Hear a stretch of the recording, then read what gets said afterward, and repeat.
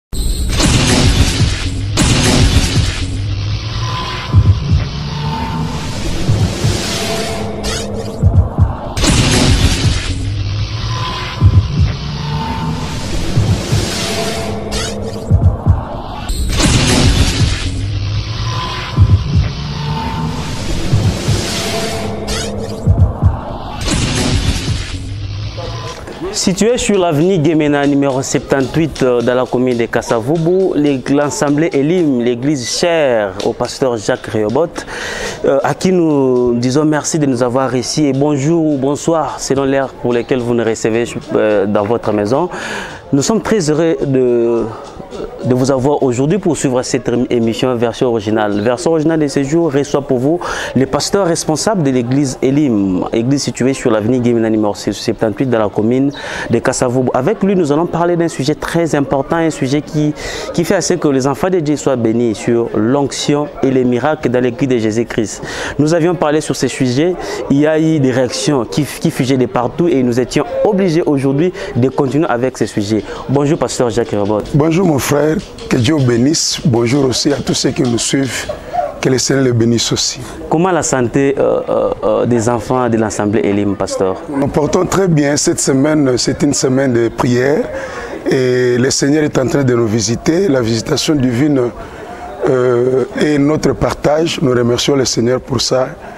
Et dans tout ça, nous disons gloire soit rendue à notre grand Dieu. Il y a eu des réactions qui fusaient de partout. Pourquoi était-il important que les enfants de Dieu soient touchés par rapport à ces sujets sur l'onction et les miracles C'était par rapport aux éclaircissements qu'on a donnés sur euh, l'onction et les miracles, et surtout quand on a abordé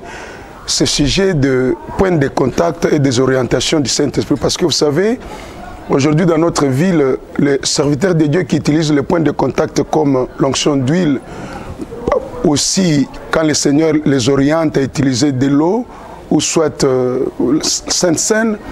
ces serviteurs de Dieu-là sont qualifiés de magiciens et de charlatans. Mais on a eu le temps d'expliquer que l'orientation ou bien les points de contact, que ce soit l'île d'onction ou bien de l'eau, ce n'est qu'un symbole que Dieu peut utiliser pour atteindre un objectif. Mais ça ne remplace pas Dieu, ça ne peut pas aussi remplacer le Saint-Esprit ni Jésus-Christ. Jésus-Christ est capable d'agir sans même utiliser les points de contact l'huile d'onction ou bien de l'eau ou bien euh, euh, quoi que ce soit. Mais Dieu est capable de faire des choses au-delà de nos passés, au-delà de nos prières, sans passer par quoi que ce soit. Mais comme on est serviteur du Seigneur, on n'est pas maître. Mais le maître peut nous demander d'utiliser ça ou, ou autre chose. Quand on s'humilie et on supplie à sa volonté, le Seigneur agit. C'est la réaction de cette femme qui disait vraiment nakumisi nzambe po pasteur aéclaircir bato tu baoyo babanda koutilize bapoint de contact na bandaki ko koqualifie bango bamagicien mais lelo na comprendre que ezali orientation ya saint-esprit eza point de contact oyo ekoki koremplace ni yesu ni saint-esprit ni nzambe na makambo wana alors euh, baréaction wana c'était par rapport ya comprehension oyo bato bacomprenaki epuis euh, tokumisi nzambe parce que bato ebele bavoile elongwaki na miso mpe baekai etombaki toki oloba kaka dieu merci parce qu'il nous a utilisé comme instrument pour avoir apporté éclaircissement on vous traite de magicien on dit que ce que vous faites euh, euh, c'est juste un rideau que vous utilisez pour que vous puissiez montrer aux enfants de Dieu que vous avez les pouvoirs salvateurs de Dieu est-ce qu'il n'y a pas quelque chose derrière euh, pasteur non en fait je vais vous dire une chose notre dieu est puissant il est multisystème, c'est un Dieu omniscient, omnipotent, c'est un grand Dieu. Mais le malheur est que même les le, le, serviteurs de Dieu, même les enfants de Dieu, quand ils sont en face de quelque chose qui surpasse leur entendement, au lieu de dire gloire à Dieu parce que notre Dieu est puissant, il se réduit vraiment trop bas pour dire que c'est la magie ou c'est la sorcellerie ou bien c'est le fétiche. Moi, je vais vous dire une chose. Notre Dieu est grand, il agit, il est plus grand que la magie, il est plus grand que les fétiches. Parce qu'aujourd'hui, il y a les gens qui viennent chez nous, qui abandonnent leurs fétiches, qui abandonnent tout ce qu'ils pratiquaient hier parce qu'ils se sont rendus compte que Dieu est grand. Pour moi, la magie, c'est quoi par rapport à la puissance de Dieu Même si on nous traite de une gloire à Dieu parce que là, je sens que nous avons atteint les surnaturels. surnaturel. Parce qu'on ne peut rien dire de toi si tu ne touches pas ce qui est surnaturel quand c'est au-delà de pensées, au-delà de, nos entendements, les gens donnent des noms. Mais nous, nous croyons et ça nous pousse même à chercher la face du Seigneur parce que là, on s'est dit, on n'est plus seulement une personne, on est un instrument que Dieu utilise, soit pour la délivrance et pour la libération de son peuple. Merci beaucoup au pasteur. Mais nous voyons dans la Bible, lorsque le Seigneur Jésus-Christ se rencontre avec Bartimée, avec la majorité des gens, il posait une question. Que veux-tu que je fasse de toi il n'utilisait pas, il pas d'autres choses, Mais un moment, il est parti voir un aveugle, il a pris sa salive et il a oué les yeux euh, de, cet homme. Pourquoi euh, euh, cette pratique au sein de l'Église, au sein de l'Église aujourd'hui, d'autant plus que ne, ce qu'avec la parole que le Seigneur Jésus-Christ avait dite et la personne était guérie. Mais pourquoi aujourd'hui l'huile, l'onction, tout ça Pourquoi aujourd'hui dans l'Église En fait, je vais vous dire une chose, je vais vous surprendre que ce que l'Église est en train d'utiliser aujourd'hui comme point de contact, ce que l'Église est en train d'utiliser aujourd'hui comme les orientations du Saint-Esprit, ça ne date pas d'aujourd'hui. Ça ne date pas d'aujourd'hui. Voilà, on déjà la lingala pour expliquer que ceux qui mutazo ko sayo alobi tala makambo ba passer bazo sala mikolo eza lukuta. yesu ye moko alobi soki kati na bino moto azobela babenga bapaka babondela mpo na ye wana jacques azoloba eza na nouveau testament bapakole mafuta mais eza mafuta kobikisa ye te priere oyo ezali efficace ya juste nde ekosala mosala eza très important ko comprendre que Yesu Kristo mwana Nzambe azalaki mpe yesu oyo aza multisystème abikisa bartime bien sûr nde tosolignaki yango la fois passé abikisi bartime ayebisi ye azwa miso mais tomoni epa aveugle ayebisi ye kende osokola yesu wana aza azosala makambo ndenge na ndenge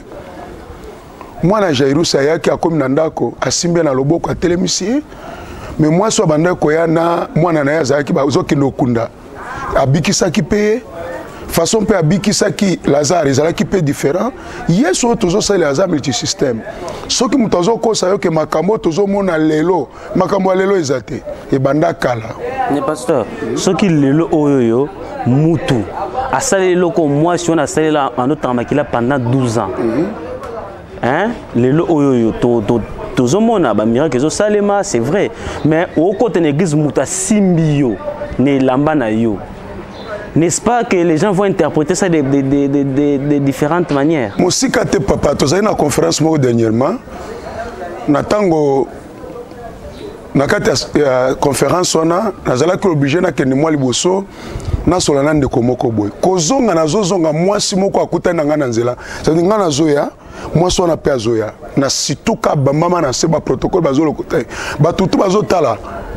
e basali na nzambe bazalaki pembeni bazotala balobi mwasi oyo akutani na pasteur bazoya papa soko limite nzambe oyebi nzambe te nano kota na dimension ya bonzambe te bonzambe baforsaka yango te bonzambe eza eloko mosusu bonzambe esalaka nzambe soki azoutilize yo meme na elamba na yo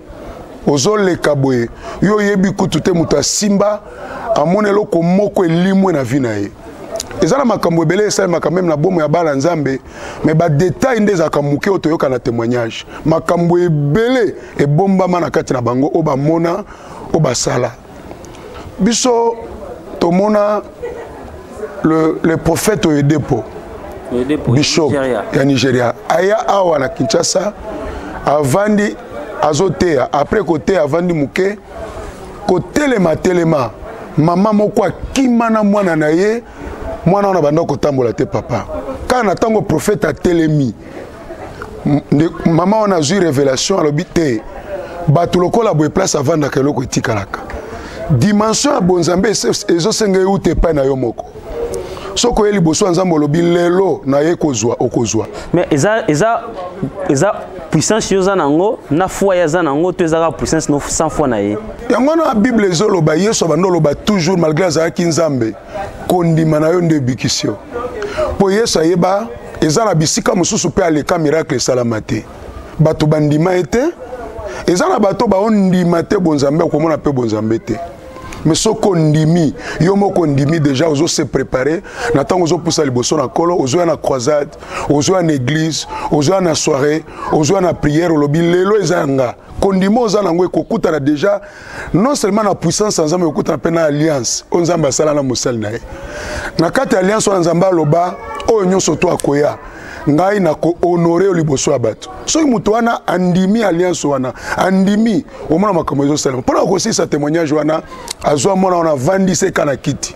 alobi papa esiko mosali na yo ti kovanda nayebi atambolaka pamba te ezalaka na nguya ezala kati na ye kotelema azotelema mwana atamboli elingi oloba nini dimension spirituelle esengaka nano na kondima oyo moto aza nango na ntango apusani yango liboso na kola ye kosala esali etincelle esika miracle ezali esika alliance eza makambo ebele oyo nzambe azosala na moto wana omoni mpe moto abiki soki esalamaki epai ya yesu mwasi wana asimbaki elamba mpe abikaki lelo mpe biso toza barepresente ya yesu wala pourkui tozoyoka somo te soki moto alobi magi tozoyoka somo te soki moto alobi kisi mpo toyebi yesu ye moko metre na biso batretaki ye bongo ezosala kutu esengo so babandi kotraite oyo bongo okomprendre ke mm, nakomi véritable disciple ya yesu mpo ye moko aleka wana ngai mpe nazoleka wana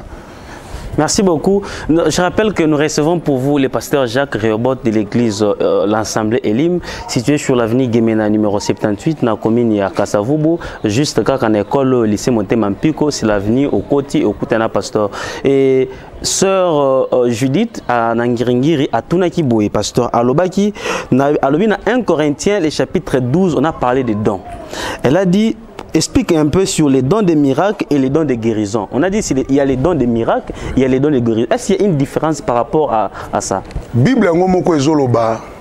Nzambe asalelaka oyo na boye. Mais eza kaka esprit moko. Même esprit. Nzambe pe akoki kopesa moto eloko boye. Eza pe même esprit. Don, don ya guérison ezali baton Jehovah Rapha. apesa bango pake moto wana soki aleki esika maladi eza bamaladi incurable bamaladi oyo ewumela bato balukela bango bakisi elimwaka te moto wana soki atomboli loboko abondeli obe akutani na ka lokola bongo maladie ezo disparaître mpe moto azali kozwa guérison na kati na aza na spécificité moko boye ezali puissance ya maladie nzambe apesi ye fongola mpo ete esinclinaka toujours na kati ya ministère na ye na ntango azali koleka mais tandis que don ya opération ya miracle ezali don moko spectaculaire miracle ezalaka guérison ya nzoto te miracle ezali kaka te moto abanda kobela abiki miracle ezali meme ba mutu lelo oyo okutani na mutu oza na mutu moko azali na nyongo na yo esala bambula amonanaka te amonanaka te kuta na mosala nzambe ayebisi yo molimo mosantu nano arevele ye alobi moto aza na problème boye oyebisi na eloko oyo ozotambola nango ozalaka na nyongo moko nano bafuta te nzambe na lola esika apesa nga mission tosala na ye alliance ayebisa nga eloko to okokutana nango soki odeklare ngai nakozala na nsima maloba no mpo nakokisa yango olobi moto wana akoya kofuta yo baloba okobimisa baange na nzambe bakosala service bake kosimba moto wana moto wana mpe azwi mbongo basimbi mpe motema na ye baoriente evere yo mpo aya kofuta yo un miracle s'éclate eza moto oyo na kati ya opération ya miracle eza bato oyo na kati ya ministère na ye ba spectacle des choses spectaculaires esalemaka d'une façon miraculeuse yango ozomona do ya guérison ezali spécificité par rapport ya kosoigne na kotraite bato par rapport ya bamaladi oyo monguna atya na nzoto na bango mais do ya miracle eza diversité ya biloko nyonso na kati moto akoki kobika na maladie moto akoki kozwa solution na problème moto akoki kozwa ouverture moto akoki komona baporte ba efungwami ndenge par exemple nakanisi okolakisa yango mama moko oyo ayaki ah ouais. 27 ans asouffrir na kosukosu esilaka te akenda bahôpital na bahôpital esika batuberculose esika problème ya bapoumon ya bafoi azwa solution te bana na ye ya basi babotama mama azobela bakola mama abelaka soki akoti na douche mpo na kosokola akokosola ti na ndenge akosilisa soki ekomi 1 heure du matin akokosola ti 5 heure na ntango baye na ye puissance ya nzambe oyo esalaka kati ya basali na ye nzambe utilize nga na nguya ya puissance ya guérison mpo te mama azwa lobiko mais au-delà ya kozwa lobiko ya nzoto papa azalaki soki aye na délivrance ndenge tolobaki jeudi na samedi place avandi bato bazokima mpo solo solo apota te mais solo ezouta na bapumo moto asi apola bato aza pembeni bazotuna eloko ya kopola eza awa mais basali ya nzambe oyo bayebaki ye bazo bare ka bato mais lelo tozoloba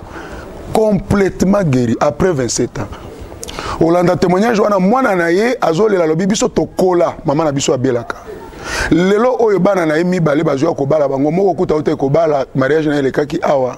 azolela ma ya miso alobi andimaka te ke biloko na ye ya libala mokolo bakoya kopesa mama na bango akozala na bomoi mpo chaque pokwa soki azokende olala soki azolaka bino c'est comme ça azoyebaki alobi akolamuka te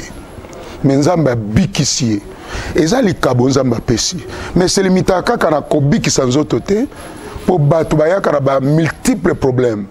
nde esika puissance opération de miracle eyaka ezoopere d'une façon spectaculaire mpo ete nzambe toza na ba nzambe aza nzambe monene tika ete serge dit ayeba que guérison ezali situé na soin traitement motu azalaki abiki ame na ye na corps mais na, na kati na don ya opération ya miracle ezali diversité nzambe azomilakisa dine façon spectaculaire baye na moto ya liboma azoya bato bazolanda ye na nsima me mosala nzambe alobi eloko liboma esili moto azongi mpenza azozonga azotambola wana eza makambo nzambe asalaka kati ya basali na ye merci beaucoup j'aimerais dire à une personne qui me regarde en ce moment vous avez des problèmes oyebi ndenge nao trouver solution te il y a un dieu qui guérit il y a un Dieu qui soulage. Malgré les problèmes que vous avez, malgré les difficultés que vous avez, le Seigneur veut que vous puissiez avancer vers lui. Situé sur l'avenue Guémena numéro 78, l'Assemblée Elim, où les pasteurs a un service des miracles chaque jeudi et chaque samedi. Et n'oubliez pas, il y a les cultes matinales chaque jour du lundi au vendredi de 6h à 7h30. Venez et vous aurez la solution à vos problèmes. Nous allons prendre... Euh, la sœur Marissa, la sœur Marissa qui avait trois problèmes.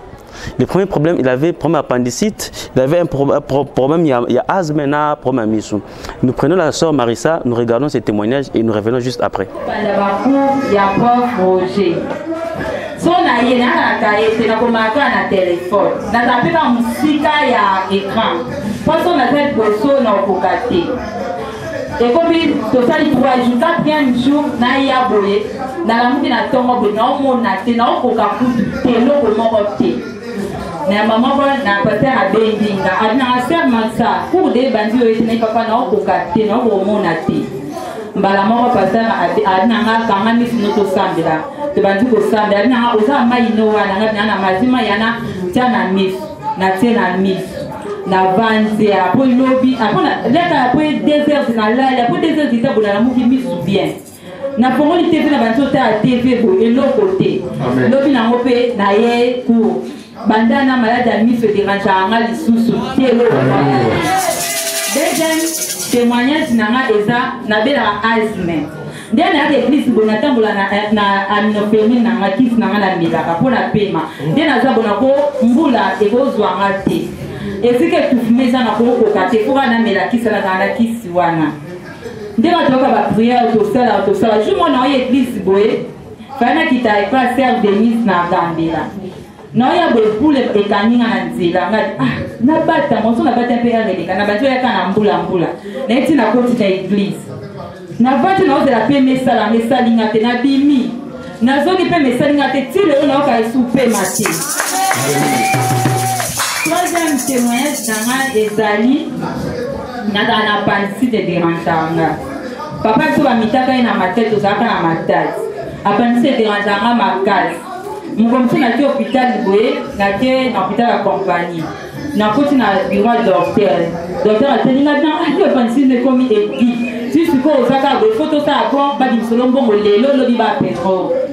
mbala moko docteur abengi papa efinga sava babimisa mbongo termine papa te docteur akebimisa mbongo na ndenge na ye sikoyo docteur na oya na pokwa mpo olala na hôpital lobi na ntongo basala opération nakoki siko kobanga nga te opération oyo osala nga nayo okufa bo nao mobanga nalobi na nga te nabombi na ndako nabengi kama na nga zala na kini nga biyo lokwa papa biso alinga komi yo benge kosala anniversaire na yo otindeli nga tike na oya kini mama na nga abengi nga abengi papabalelo nzambe asaleli ngai nakimaka matadi mpo batai basala ngo operation nakimaka na ya ati lelo mikolo likolo ekomi koderange nga pense ekomi oderange nga makasi badouleur jeudi ezalaki seance ya mai faye na ya priere nakoki te likolo ekanga ngai nakoki te koya priere banabengi papa lobi na tor ngai papa apanisi naokoka te ko papa biso telema babimisa da mbongo kuna ayaka koyeba yango don alingaka kutu te toso nayoki ka motu pasi arapele nga makambo ya pandisite don ata naobela nayebisaka motu te nayebisaka ata papa te eloko moko te mbala moko nayobenga oncle na ngai aza directeur ya ofida mpe basala esika moko na papa ya biso na expliquer oncle na ngai bi ça va ngai na okende ba biso na ndenge na na ye prière vendredi na ye sa papa na bi lobi na oya prière te mpo na okende hôpital papa apesi nga 500 fois abi nasomba mai nake nasomi papa asambeli nga mai yana abi melango nameli mai wana nazongi ndako na ntongo esi nayinaki hôpital nameli lisusu mai wana nake hôpital na ye nini bato amatisi nga bando otalanga bazwi mashine mwa bando otya ngai obuzano na eloko te sikoyo nini yango oye oh, oh, awa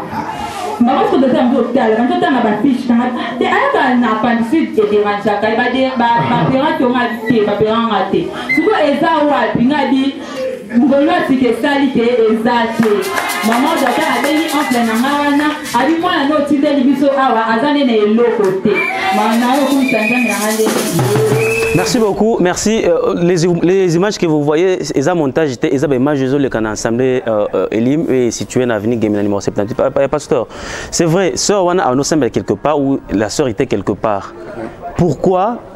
seulement à vous nde sœur wana azwi guérison eza mission papa basali na nzambe omoni nzambe abenga bango apesa bango mission mission wana esanganaka na eloko babenga alliance eza na makambo oyo moto akoki atamboli atamboli atamboli n'est-ce pas touti koloba problème ya mwasi oyo akutana na yesu bible elobi akote akende pa bamédecin akenda bipai na bipai elle a dépensé tout ce qu'elle tout ce qu'elle avait siko na moment wana yesu azalaki wapi na moma wana basakoli bazalaki wapi est ce que na moma wana mpe basali ya nzembo mosusu bazalaki kota kendeki esimbaki te oui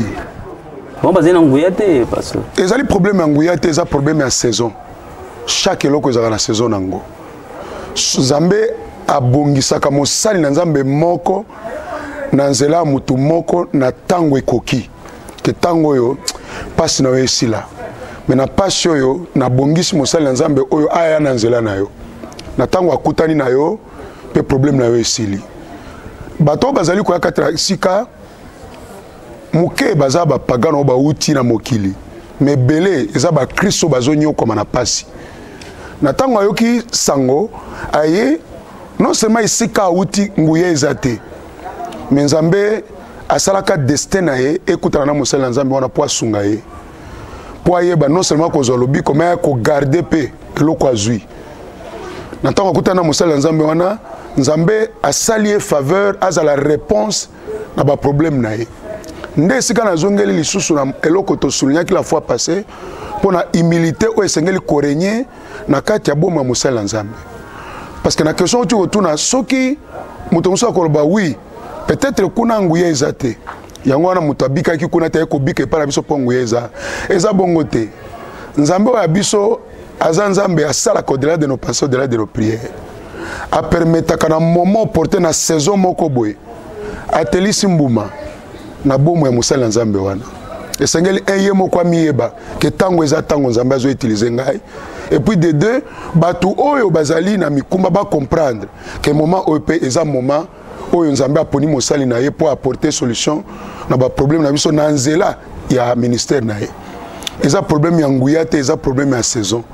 saison ya nzambe soki ekoki mpo na koaporte solution epa motu aorientaka ye esika mpe mosali ya nzambe wana nzambe alobi na ntango oyo nazwi mokano ya koutilize lokola instrument na ngai c'est vrai pasteur ne alobaki toza mesure ya pose baquestion ya bato nyonso te mais e tozwi question toévolue na, na, na, na matière na biso ya la sœur sandrine na delvoi alobi comment pourrais-je savoir que cette onction ou ce miracle ne vient pas de Dieu accueilli quelque part abindeni ah, osa différence wana po parce que moni ça prophétie comme Nzambe Dieu est ici Dieu est ici comment savoir l'onction ou le miracle ne vient pas de Dieu eloko ya liboso nano eza manso tosalaka eza na kati ya biblia oyo nyonso biso tosalaka exemple na biso modèle na biso eza na kati ya biblia badisciple bautilisaka huile d'onction wi oui. bakenda babondela mpo na bato bawendre bango estce basekisa bakufi basekisa mpe bakufi estce bazalaka traite mpe lokola bamagicien oui mais eloko ya motu eza nini esengeli ocomprendre que bapratique ya monde ya ténèbre bazipaka yango mpo ekokana na makambo ya bonzambe me nayebisi yo sukasuka nzambe ayebaka koexpose bato ya mabe mpe azogarde baoyo ya ye nalobaki la fois passe 1 bato ebele lelo oyo oyeba babima bamibenga basali bamibenga baprofete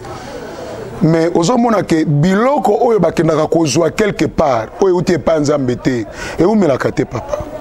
eumelaka te après quelque temps ezolimwa okende boye oyo bazalaka awa bakenda oyo baza elimwa e disparaître epuis nalingaki na souligne eloko moko mingi mingi soki nzambe abandi koutilize mosali na ye okoyoka bato mosusu bazoloba paster moko abimi koto mikolo oyo lokola babiso oyo makambo nzambe azosala na biso lelo ezali après une très longue école bato bayebi biso bayebi me bao bayebi biso to bakoloba paster moko abimi koto mikolo oyo tobimi mikolo oyo te eloko ya monene oyo nzambe abongisaka mpo na kopesa mosali na ye azwaka mpe temps ya koforme ye mpo na ntango ya kopesa ye yango ebunga te mais vous vous avez été formé par qui l'apôtre paul par gamaliel et vous en fait eloko ya liboso nalingi nayebisa yo ezali que biso nyonso touta quelque part ngai nazwa grâce euh, papa na ngai azalaka pasteur tozalaka forme dès le bas âge Mais ce que je suis en train de vivre aujourd'hui, ça n'a rien à voir na ona yekola. Le Seigneur m'a fait grâce aussi à kozala entouré na ba grand homme de Dieu ba o Nzambe a utilisa na monde spirituel, Nzambe a benda bango po ete baye ba kozala lokola garde fou. Parce que na ngina biso lelo ebele ya bato baoyo nzambe aitiliza mpe batombwama yo moto oyo nzambe azobenga yo koyoka soni te koyekola pembe na bango mpo bato ebele lelo azomona soki azoyekola na makolo ya motu azomona yango lokola eza soni bayokaka soni te koapprendre na moto ya réussir na domaine na yo na ntongo oza se ya makolo ya bango nzambe azosala faveur c'est vrai que tobanda mosala ya nzambe ailleurs nzambe abenga biso na ville oyo mpo ete aapporte un, un, un vent nouveau mais toza mpe na basala nzambe ebele ya mboka oyo baoyo bamona biso kosouffrir entre autres le prophète na ye mayebi nga personnellement ayebi ba parcours ayebi makambo ebele pona nga pona nini parce que po nzambe atie eloko kati ya mutu esengeli nano alekisa ye ekole ekoki ozala 20 ans papa 15 ans nyonso ozosala ezosimba te yo omoni lokola ezosimba te me nzambe azolekisa yo na ekole mpo aza na eloko ya monene akoya kotia na maboko mpo ete lobi obongisa yango te c'est vraiment important mpo na korépondre na question ya sœur okoyeba na mbuma saint esprit azalaka temoin na biso na kati ya motema bisika mosusu okoti ka boye yo moko ozoyoka kimia te lobi awa ah, ozomona bamiracle ezosalema mais ozoyoka kimia te ozosentir c'est comme si ya quelque chose qui ne va pas tika ayokaka saint esprit mpo biloko ya libanda eza apparence ekoki kozala ezotrompe yo saint esprit akolakisa yo ke oyo eza ya ngai oyo eza ya ngai te eza très important meme bato ebele bazoya awa mama moko un jour ava ya babenge na poko alobi seigneur lakisa nga soki place nazokende aza mosali na yo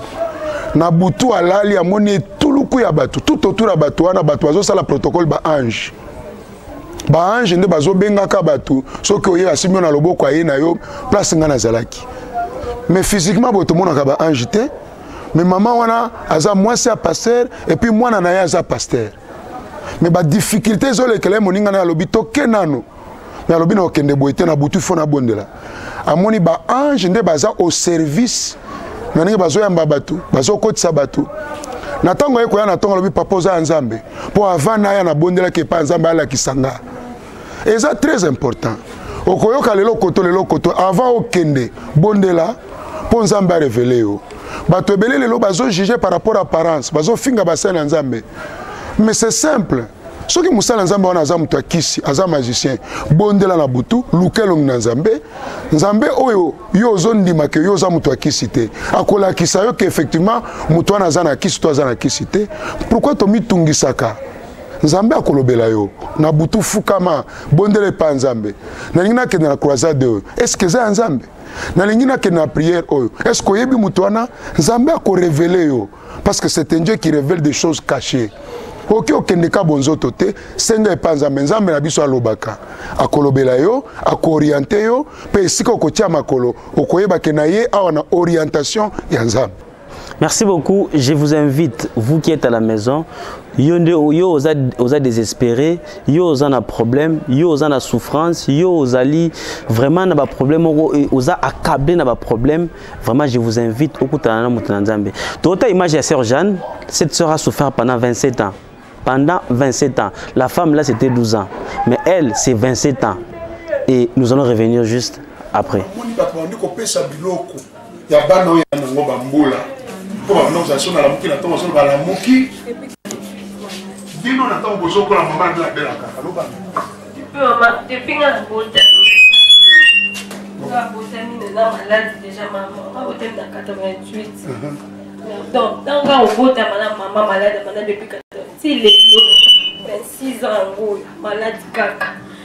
Depuis tokomi oya awa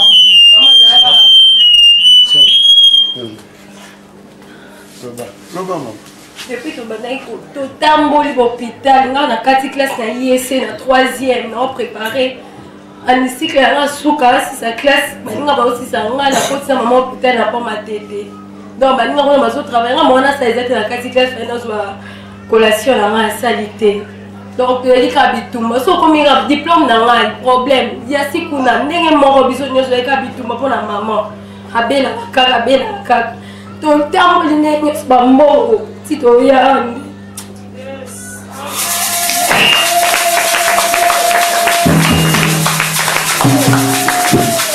eloko nini elekaki mpona samedi to fali bayo discuter fati na petite sœur na ngai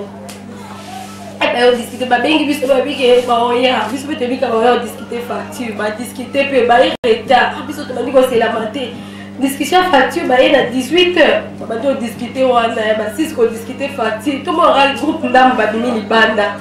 tomora boyo nabima matala kuna bazokota na biloko mama baye kotika mama biloko donc émotion elekeli biso azali bolingo toza na persévérance okomona makambo nazalaki soki nalamuki nalelaka na ngaka nalelaka kaka nazesa bana na ngai ah. botala mwana ngai nandimaka te soki navandi nazolala na po ntango nyonso nalambwaka na po me nzambe aza bolingo soki nzambe asali yo alingi yo okufa te okomona ngombi ya sika oyo nga nazotika ozani nazoya mbula ezobetelaka na nzela nazokanga zolo nazotambola mabe na nzela nabaki na kokoma ntina suka nafuni komema mwana nga moko moko mwana na nga moko moko ti tokoya ti tokozonga tokokende kobunda na mituka boye na boye me ti na longi satana azalaki trop rise mpo na nga le même jour le tozwi biloko lobi na ntongo nango butu eta na lobi wana naloti ndoto baye kobundisa kaka bakata ya bitumba mpe na bitumba wana na panzi na panzi ba C'est un témoignage qui s'est passé ici à l'église donc yo moto oza na ndako oza na pota oza na problème ce n'est pas le pasteur lui-même c'est la puissance de dieu qui est en lui nde esalaki ozala guéri grâce à foi na yo donc venez sur l'avenue gemena euh, numéro 78 commune de kassavour beaucoup de l'homme de dieu mais avant to continuer na ngai opesa un peu programme l'homme de dieu culte oyamba bato ndenge nini condition bafiche basomba bafiche place nini donc euh, opesa oyebisa bato merci beaucoup nalingaki na souligne awa que na baimage oyo aime na anderson bazopesa bino baimage ya liboso bazolakisa bino bapriere na biso chaque jeudi wana eza badelivrance oyo tobenga delivrance individuelle moto azoya pasteur nazolandela ka na ye mpo na nini na ba prière de masse na ndenge bozomona yango wana bato bazobondela bato bazolela bato bazokweya bato bazobamba bato bazolobaka baimage ozomona ozomona mwana mobali azolela miyo ezobima ye nguya na nzambe soki ekiti papa etalaka titre ya motu te yango wana ndeko azolanda biso peut-être émission oyo ekuti oza na chambre ozolekela baproblème benga na nimero wana mpo toyeba kosunga yo mpo kobosana te na chaque classe ya bato banicodeme mpe bazalaka bao bayaka na butu okoki oloba a ah, ngai nakoki okende église te basala délivrance na ngai publiquement toza na équipe oyo totindaka bato bake na ndako abondeli mpo na motu ye mpe akoki oloba pasteur omoni nde nini ngai nalingi boya ata na biro na nga oui bato ya ndenge wana bazalaka mpo na chaque classe ya bato esengeli kopesa moto esika na ye mpo ete évangile mpe elanda ye na ra na ye alors chaque jeudi toza na bapriere tosalaka tozobondela mpo na moto pourkui mpo moto akoki aye na église séance esili mais aza na baproblème moko eza très particulier asololi na yo opesi rendez-vous jeudi tobondeli na moment tozoloba kutu lelo eza jeudi bato deja basi baye baye deja euh, nakanisi bandeko mosusu bakota bato bazozela deja baoyo baye mpo na bapriere individuel oyo tokosala lelo wana ezalaka sikoyo na trois séance séance ya liboso ezalaka clite matina ndenge ezalaka bato baye tobondeli baprendre euh, rendez-vous na biso na ngai na souligne affiche ezalaka te euh, nani fiche ezalaka te euh, euh, euh, euh, euh droit ya kokutana na pasteur ezalaka te et puis euh, eh, baaudience ya molai molai ezalaka te mpo na nini elingi oloba te ke bao basalaka yango baza basali ya nzambe te elingi oloba chaque église eza na organisation na yango interne ça c'est de un de deux chaque euh, non non kaka jeudi wana première séance ebandaka 10 heures séance ya mibale mpo na bango bakendaka mosala 17 heures 30 samedi toyebaka kosala yango de 8 heures à 12 heures mpo omoni samedi mingimingi basalongo wana avant peut-être moto ake oteka ye pa oteka bien te makambo eza mobulu mobulu aye nao na prière tobondeli mpo na ye akei mpe makambo na ye efungwami dimanche na ntongo aparti ya 8h30 bien sûr bakilte mosusu na ndenge tosalaka yango merci beaucoup pasteur c'est vrai onction miracle negi c'est bon est ce que ça eh, après avoir ko chasser baesprit wana ezongelaka yo mpe des fois pasteur e combattre yo te na famille na yo eloko esengeli oyeba ya liboso ezali soki nzambe akonfie mission epa mosali na nzambe ye moko mpe akoprendre soin mpo na koprotege ye n'est-ce pas na momo nazoloba soki bandeko bakoki kolakisa image moko ya sœur moko oyo azalaki ozobondela mpo na ye aotombola loboko alobi yo yo jacques yo ozomona mpenza moto aomenase yo eza na baimage mosusu azoloba lelo kaka soki obengani ngai yo okomona na okanela yo otala en pleine délivrance omona mpenza moto azobongisa lokola alinga azobongisa munduki asimbi lokola mbeli me mbala moko soki olobi na paralyse loboko na yo wana nguya na ye esili nzambe apesa biso makoki apesi biso mpe protection na ye azipaka biso na makila na ye mpo eza biso tosalaka delivrance te mais eza delivrance esalemaka na nkombo na yesu soki moto alingi atake nga akokuta na kolo mosala kolo mosala nkombo na ye yesu kristo abundelaka biso na butu abundela biso mpe na moi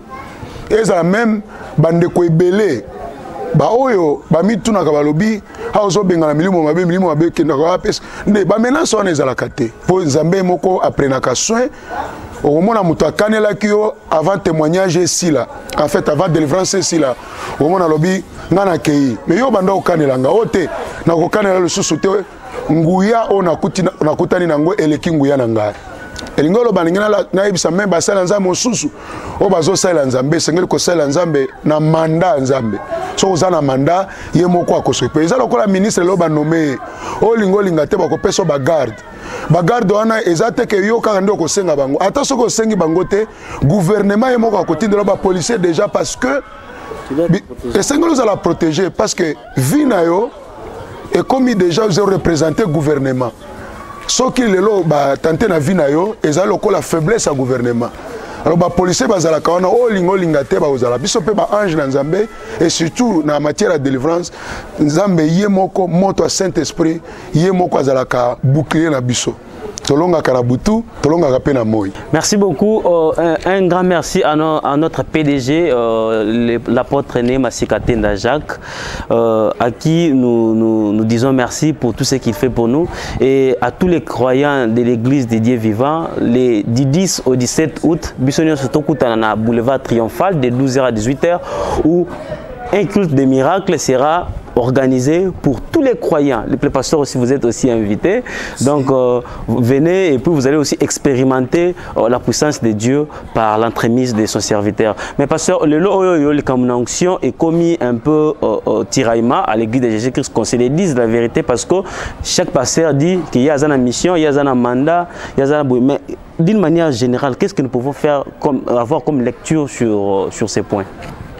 eloko ya liboso oyo esengeli ocomprendre mon frère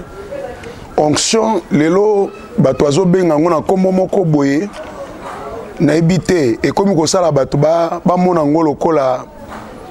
mystère moko boye onction eza kaka kapasite oyo nzambe atiaka na kati ya mutu mpo ete abanda kosala makambo eleki bomoto na ye mafuta ya nzambe likolo ya moto wana yango nde ezosala ke oyo eza na impossibilité epai ya bato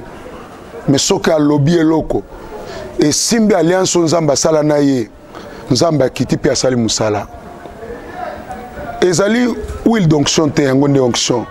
onction eza capacité oyo nzambe atyaka kati na motu mpo motu wana abanda kosala odela ya bomoto na ye na ntango azoloba makambo ezosalema na ntango azotombola loboko makambo ezosalema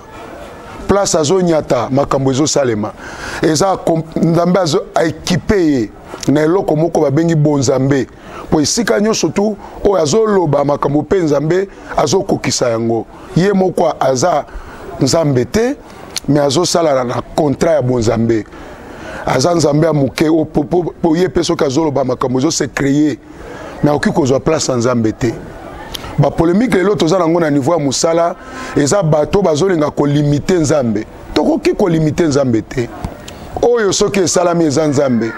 oyo eza nzambe te te epuis surtout toza na problème na moto oyo soki nana akomi na dimension ya moninga te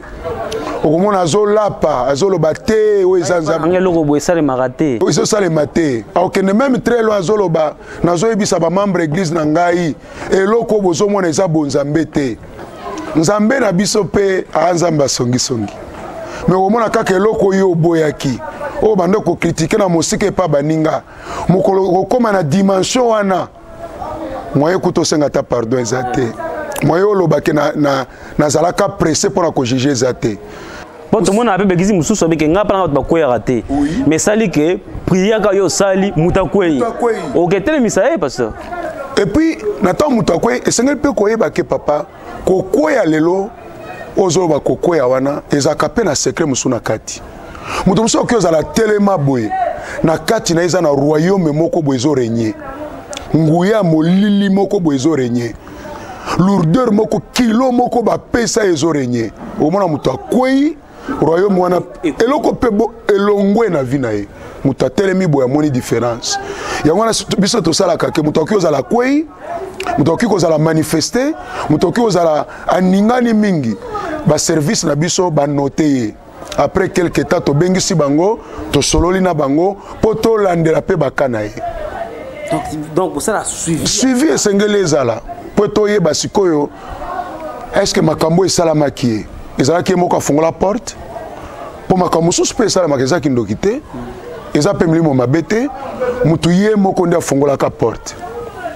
par exemple toza na témoignage moko sere moko bainvitaki epa camarade na ye en fait bazwaki epai ya camarade na ye bakendaki kokota na bar na boite moko na butu moto oyo akendaki na ye amesana baboite vi na ye mpenza eh, ekomaka bongo me oyo akenda mbala liboso nano akota mpe kuna te nzokande na bwate wana ezalaka na molimo moko soki oye mbala liboso esengeli aenvoute yo mpo obanda kozonga mikolo nyonso na ntango bamoni barekoneteke eza moto ya sika bakota bwate mpe esila bazonga na club wana sikoyo bakota un jour amoni vie na ye ekomi tourmente na age ya moke azwa deja ze mabota ya yeba te mm. baproblème sikoyo ekomeli ye baye koya na ye na, na, na séance ya délivrance na ntango totyeka loboko balobi a botungisa nga te ngai nayaki koluka ye te ye moko nde ayaki koluka nga yo nani alobi nga eza, eza club nde nkombo na nga oh, bato bazalaki wana bakamwe yo nani alobi club hmm. elingi oloba nini ayaka na boîte de nuit esika ngai nazalaka na ntango namona ye na, na comprenaka eza mbala liboso nakotisa envoutement kati na ye yango lelo esalaki ka azala mwasi ya ekobo aye kobota na age ya 17 ans après lelo soki nazotungisa eza wana ngai nakokende te parce que ye moko nde afongola porte toyebaka yango ndenge nini soki ezalaki na priere ya masi akokwea kaka esili mpe azongi ndako mais na mpo na suivi wana tosalaka nde toye kocomprendre origine na ntango délivrance esi toye kotuna ye okenda bwate alobi nakenda bwate ndeko na ngai moko amemanga est ce que oyebi kende ezalaka porte efungola ase retrouve déjà na baconséquence abota mwana mobali ya kima akata classe vi na ye ebeba na age ya mineur azalaki déjà na mwana mpo na nini parce que afongolaka porte na nzela wana mpe nde topermetaka mpe moto ayaki kaka kolula lobiko na nzela ya suivi wana ekopermete te ayamba yesu toki komona moto aza na besoin ya yesu fukama afukami tobandi koyambisa ye yesu na ntango ayambi yesu akangi porte wana mpo moto oyo abongoli motema akoki kofrekante so baboite de nuit te akoki kofrekante so baclub ya butu te wana na ntango tokangi porte wana akomi mokristu ya solo parce que objectif na biso eza kaka te milimo mabe elongwa objectif na biso eza kaka te moto abika na nzoto objectif na biso eza moto abika mpe na kati ya molimo soki yesu aye akuta eglize oyo ebongami ya bato babongola motema epuis oyebi papa eglize eza na bato babongola motema baza converti ezalaka eglize oyo eza na gloire na nzambe eglize oyo etonda bato bayaka koloka miracle me babongola motema te okuta baconflit ya kilikili entre bango na bango ezala meme basali ntango mosusu ayaka kaka aume na eglise bapesi ye responsabilité mai abongola motema te akozala tout un problème na eglise epai ya paster na ye mpe basuivi wana epermetaka biso toyeba moto ayeba koyamba yesu abongola motema mpo porte afongolaki ezonga lisusu te mai na kati ya baka toyei kokuta mpe mitema mabe ya bato mosusu baloka ye mosusu babwakela eloko ko makasi na dine la fois passé mbasu na ye ezonga trois fois me nzambe abikisa ye fin de fin toye koyeba eza bato ya mitema mabe bayebaka ke soki avandi bongo ndeko na ye aza na poto ta mosusu akobengisa ye efalaki baboma ye mpo ete ndeko na ye wana abengisa ye na poto te aloba biloko oyo nyonso to ezolakisa ke suivi na kati ya mosala oyo tozali kosala eza très important kose contente kaka te moto akwei kose contente kaka te moto asali boye esengeli kolandela mpe vi na ye oyeba origine nini oyo esalaki ete molimo wana ekota kati na ye na na ntango sikoyo bosoutenir ye na priere omoni mpe makambo na efungwami epe makambo eke liboso tozokende malembe malembe mpo tosukisa émission na biso pasteur euh, avant dernière question mpo tozwa dernier témoignage ya sœur mpo oyamba bandeko mosusu mais tomoni ke na kati ya ecclesia c'est vrai pasteur yo oza na eloko ya nzambe ozobondela bato bazobika me na nsima na yo olingi te bato mosusu mpe bazwa yango mpo mokolo mosusu lelo mpe nzambe akosala keno oke na mboka angola oke na ndeko ya brazzaville selo demande ya bato sikoyo bandeko bakotikala sikoyo yo ozaka na eloko na yo moko sikoyo bandeko bakotikala ntango yo okei ministère ekati ezozela yo ti okoya to oza mpe kaka na mwana oyo ya yo moko ya ndako ya, ya yo deja ozobongisa mpe mpo azwa nguya wana nalingaki nayebisa yo ke eza très important ke soki otuna mosali na nzambe oyo amimonaka ke ye moko akoki aza mosali na nzambe te mosali na nzambe ayebaka ke mosala ya nzambe ezali mosala ya complementarité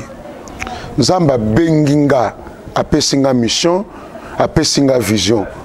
mais tout autour na ngai eza na bato baye kosoutenir vision nazo kodetecte bango par rapport ya bacapacité baza nango mpesi mosala na ngai nayebisa likambo moko ngai mingi mingi mosala na ngai ezalaka na kati ya temple baka nyonso to ezali libanda ya temple naza na équipe mpo bakendaka kosala mosala wana oyebi mpo na nini mpo mm. bamisentir déjà capable aussi ya kogere basituation nabangaka te no ntango mosusu soki ake libanda ah, ntango mosusu ake kuna eh, ntango mosusu akokoka te ntango mosusu te moko afuna azala non non bakate to ezalaka libanda na deplasaka mpenza mingi te groupe ya boke kosala mosala boye baoyo bake boye baoyo bake boye baoyo bake boye pendant la semaine eza mokolo mosusu na ye nazosala prière te bango bazosala heure na ntango nazosala nazotinda basujet de prière bayebi ke basujet de prière ezalaka boye katikati ya semaine na baprière mosusu basali mosusu mpe bazoteya mais badimanche tellement que une grande partie ya bato bazalaka invité bakoyebisa bango bokoya bokoyoka mosala nzambe bagrand culte wana tozozwa yango tozoteya mpe tozoyamba bato mpo la plupart ya baoyo bazoya bayoki sango ya ngolu oyo nzambe azosala mpa mosali na ye me na ntango par exemple moto adeplace akei na mosala ezalaka toujours batour ya bato bazosala mosala mpe mosala ya nzambe ezokende liboso esengeli koyeba ke na ntango ozosalela nzambe diversité ya bato nzambe azotindala yo bango mpe baza na eloko ya nzambe mais baza bana mpo na kati ya église banoko bazalaka te mm. batata leki na batata kulutu bazalaka te moto akoki ozala aza na age akokola bino mais aza mwana mm. aza na makolo na yo papa mais na ndenge ya respect ya bomoto ye ayebi koza na age ya mwana na ye mais ye azopesa respect lokola mokambi yo mpo ozopesa respect selon age oyo aza nango eza très important mosala ya nzambe basalaka yango ye moko te bakilte ya bamama ezalaka na ntango bamama bazosala misala ngai nateyaka te ntango mosusu bamama bazali koteya bango na bango, bango, na bango bango mpe bazoexperimente ere moko mpe na moment ya badelivrance moto moko aza na kaa akwei kuna bino mpe bobondela mpo na ye na ntango bazobondela mpo na bango eza na baka mosusu oyo eza important soki nzambe asali yo grâce mpo na kozala deja oza marie ndenge ngai naza marie na mama esperance otopesi mbote uh -huh. eza na baka mosusu mama ekoexplike yo mpenza likambo na ntango explike yo omoni ka oyo nga nakoki koresoudre yango boye te tellement ke eza ka moko eza na makambo moko trop sensible ya basi oyebisi mama obengi olobi orientation boye boye boye bobondela mpo na mama mpo par rapport ya ka boye ntango mosusu na présence ya mama akozala na capacité ya koaporte badetail mosusu ya bomwasi na ndenge akoki koaporte epai na yo mobali te mpo azoyoka yo soni eza mpe avantage ya kosalela nzambe mpe oza marie yango wana eza mpe na bakamp mosusu omoni moto abaluki abaluki abaluki mais esengeli sikoyo kobondela mpo na ye na ba na ntango mosusu saint esprit eoriente e, e, e yo mais omoni te ngai nakoki kosala mosala oyo te servante ya mwasi asala mosala oyo kota na ye bondela mpo na ye na ndenge orientation ya saint esprit asali nyonso to wana tozali kobatela oyo babengi image ya eglise image ya mosali na nzambe mpo ete mosala na nzambe ekende liboso tout autour na biso toza na équipe moko ya monene oyo ezali kosoutenir biso na mosala mpe tozopesa bango opportunité ya kosalela mpe nzambe na se ya mafuta eh, ya mosali na nkolo mpe mosala na nzambe ezokende liboso merci beaucoup merci na yo moto tozolanda na ndako tokomi presque na esuka émission mai tozwa élément ya sœur sœur oyo euh, andobela estoma aigu sœur anosala bacrise sœur asouffrir na butu sœur azalaki na baproblème très sérieux Mais elle croyait qu'il y avait un Dieu qui pouvait la soulager dans toutes les difficultés que la sœur avait. Tout à la témoignage de la sœur et bon tozonga na sima. Euh, Nzambe angolo asika sale belé na bomoi na ngai koya na nga kati na sikoyo na vandi na balabala mais na banda ko sambela place songolo na mona yike ko mema bana transport na jija kimie na kotaka awa. mais par la grâce nzambe ya ngolu asika asaleli ngai eh, ya ebele nazalaki kosouffrir na estomac mais kati na estomac wana nazalaki ebandaka à partir ya 2 1 heure ti vers 4 heures wana nde ozwa kimia olali chaque fois chaque fois mais par la grosse de dieu kati na esika oyo nzambe akangola nga vraiment nakoma Euh, nakoloba na bango baya baya kokutana na nzambe oyo aza kati na esika oyo bango mpe bakozwa guérison ndenge ngai nazwa guérison merci pasteur tolandi témoignage sans commentaire pasteur mais tokomi na suka émission pasteur nalingi oyebisa moto moko na ndako oyo aza na badifficulté oyo azopense ke maintenant ekomi suka na ye nalingi pasteur otalaka meko oyebisa moto wana eloko moko mpo aza na espoir à travers ngolu oyo nzambe atie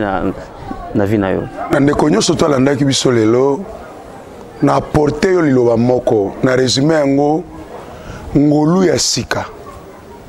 ekita place oza ntango mosusu yo mpo oza na baproblème na poumon na estomac oza na badifficulté tika makila na yesu ebeta lokola kake place oza elongola yo na maboko ya maladie ebotola yo na nguya molili elibere yo na prison nyonso to okota lelo tobeti masolo ya bato mosusu na momo nazoloba tika ezala lisolo na yo oyoki batémoignage ya bato mosusu tika lobi yo oyela biso témoignage napamboli yo place oza longwa na bowumu nguya na nzambe elibere yo complètement na moment nazoloba eloko ezalaki na nzoto na yo edisparaître na nkombo na yesu kristo napamboli yo napamboli mon frère nzambe apambola yo napamboli l'homme de dieu le prophète neema oyo apporte biso grâce na nzela ya télévision oyo dieu viva installa lelo biso mpe tokomi babénéficiaire tika ete ngolu na nzambe elanda yo toyoka témoignage na yo na nzela numero ya telefone wana soki obengi biso tokokumisa nzambe shalom shalom que dieu vous bénisse merci beaucoup si vous avez aimé cette émission dites merci à yasser congolo à aimé dites merci à anderson lukubama à mon grand frère propre euh, le papa roger koi Mer dites merci à, à, à virma kanza dites merci à mon directeur des programmes euh, Gérard Kitenge au coordonnateur euh, Rombo et à notre PDG les prophètes Nema Sikatenda merci à, tous toutes les personnes qui nous ont suivis. Vous avez les numéros, appelez, appelez, on va vous donner le contact avec les pasteurs. Donc pour nous, nous, vous fixons rendez-vous pour la semaine prochaine. D'ici là, portez-vous bien et, bonsoir chez vous. Merci beaucoup, pasteur.